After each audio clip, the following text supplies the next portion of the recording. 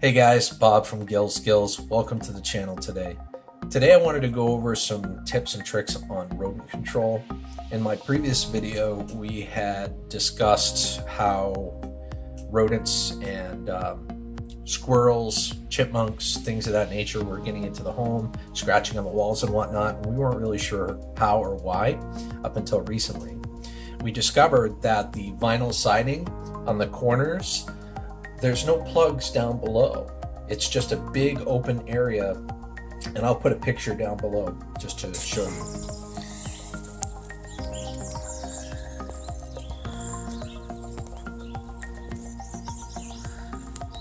anything that wanted to get up there could. You know, mice, chipmunks, whatever, can just run right up, get into your soffits, your roof, your walls, and just keep you up at night. So I did some research and uh, discovered a multitude of ways to combat this. There's steel meshes, there's copper meshes that you can put in there. Um, there was also something uh, called Kritter Cap, and I was really intrigued by this, so I, I bought it. It was $25 on Amazon. It was the cheapest place I could find it. It came with a set of six of these universal plugs that you can put in the vinyl cornering to prevent anything from getting in there. The nice thing about these is there's no screws needed, there's no glue needed. Uh, once you put it in place, it kind of holds itself there. So um, it's kind of a set it and forget it deal.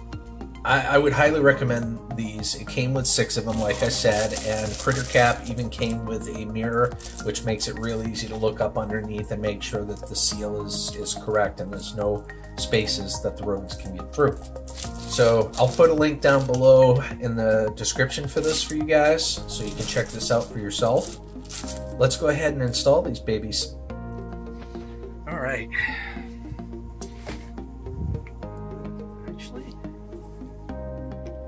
This looks like it's just gonna fit right in just the way it is.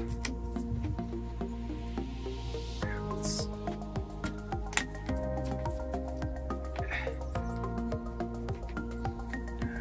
Just make sure that that worked right.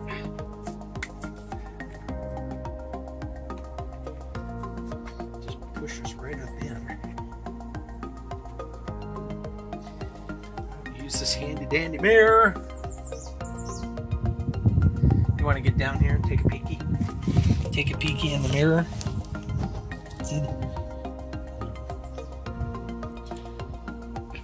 Hold on, guys. Let's see if I can do a little better for you that pretty much stays in place and nothing can get up in there, which is really, really nice. So I'm going to do this to the rest of my uh, corners and I'm going to see how well this turns out. So this one here is actually, I've actually pulled snakes out of this one before.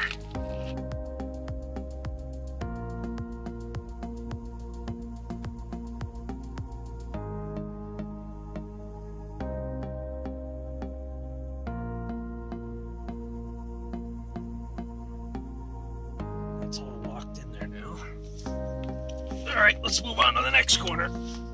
Have in the mirror because you can check and see if there's any critters up there before you cram this thing in. Uh, let's see. Thankfully, I didn't have to cut or uh, customize this thing at all. just kind of it fits right in place, which is really nice.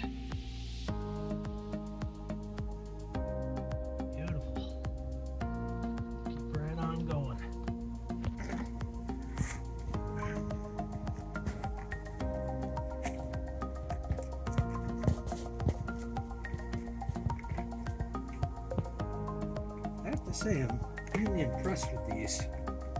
And if they do the job, they'll be even more so. Everything. Pretty freaking neat. Yep.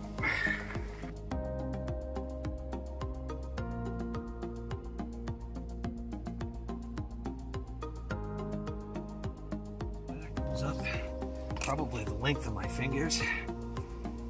Nothing can really get in there. But if I really wanted to, I could grab steel mesh or copper mesh and stuff that in there.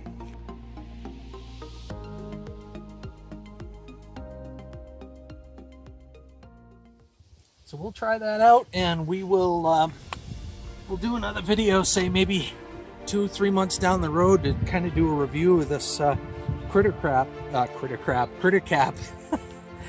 um, so far, I mean, they, they went in really easy. I didn't have to customize mine at all, but they're very versatile in the sense that you can break off little pieces and make it fit just right for you. So anyway, thank you for watching. Like, comment, and subscribe, and share, share, share.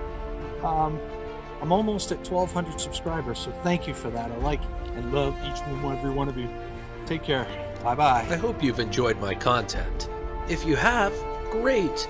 Let me divert your attention over to this big red subscribe button on the side here. Already a subscriber? That's awesome, and I greatly appreciate it. Please feel free to click on that little bell to get notifications when I create a new video.